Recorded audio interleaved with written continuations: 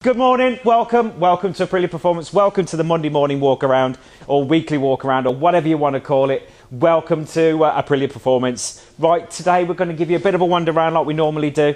It's a, it's a little bit less busy in the workshop at the moment, but there's some other stuff which is interesting for those of you who are kind of into bikes rather than just into sort of Aprilias in general and, and engines and, and, and just general petrol head stuff. We've got some interesting stuff. Okay, so basically, follow me then. We'll have a quick look at what's going on outside.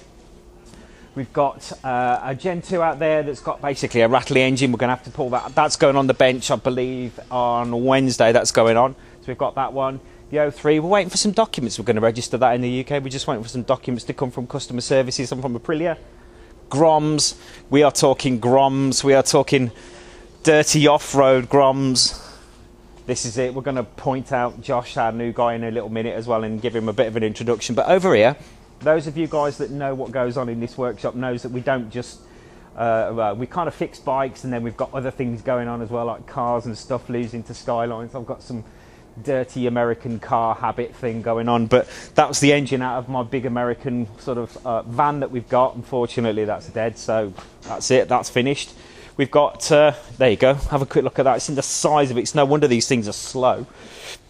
But yeah, that was all pulled out over the weekend. We've got Ewan's bike here, which is uh, just waiting for some exhaust to come back. That's all pretty much ready to rumble. Got all the bits for that the race bike again, which we've really got to get onto. There you go. That's me being sort of, sort of disorganised a little bit, unfortunately.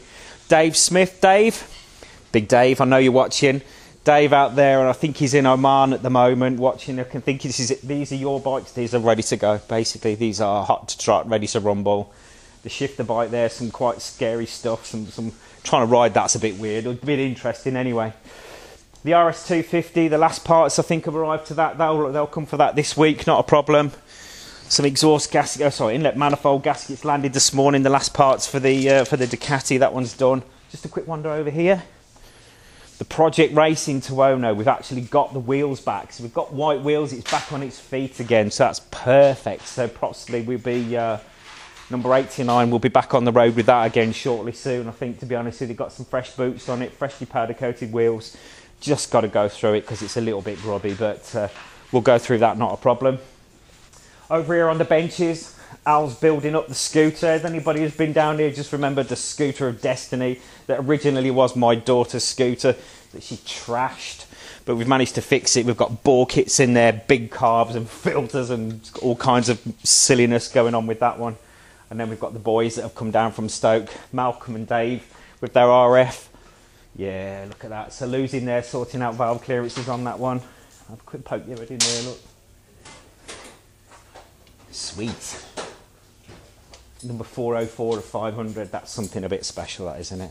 One day maybe I'll be able to afford one of them one day. Auto blippers going on, I think with that one as well.